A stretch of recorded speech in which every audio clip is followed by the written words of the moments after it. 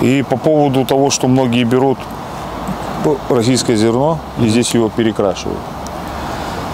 А, Перекрашивают как? Это очень хороший вопрос. Я бы сказал бы достаточно. Этим балуются не только экспортеры. А, Этим страдают, можно сказать, экспортеры. Этим балуются сами фермеры.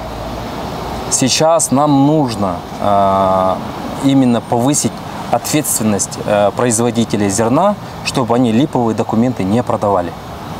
За счет того, что они продают липовые документы, и у нас это все серое зерно перекрашивается на казахстанское.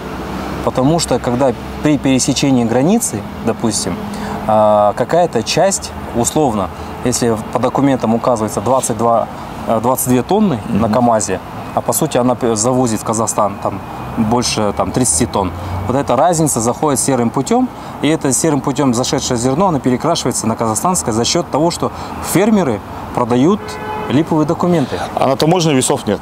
а на таможне весов нету. И это никак нельзя урегулировать.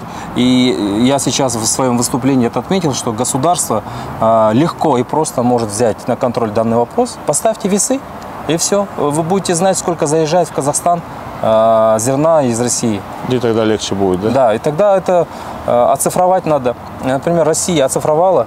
В этом году фермеры э, в России очень многие отказываются продавать э, за наличные расчеты. То есть у них уже полностью переход на перечисление. Э, и наловых оборотов стало намного меньше в России.